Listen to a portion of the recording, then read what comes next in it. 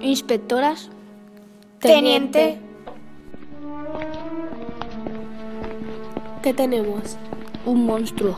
¿Un monstruo? Creí que ya no existían. Modus operandi. Siempre actúan de la misma forma. Aísla a la víctima, la controla impidiéndola actuar por propia voluntad, la agrede y la mantiene atemorizada. ¿Cómo lo hemos descubierto? Como suele ocurrir, una vez que la víctima reúne fuerzas y cuenta lo que le está sucediendo, el monstruo pierde su poder.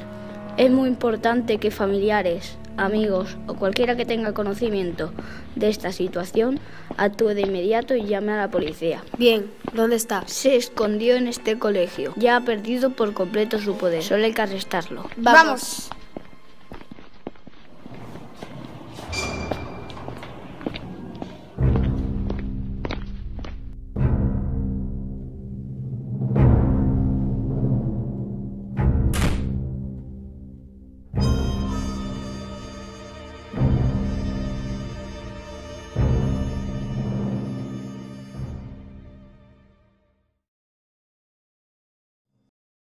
Thank you.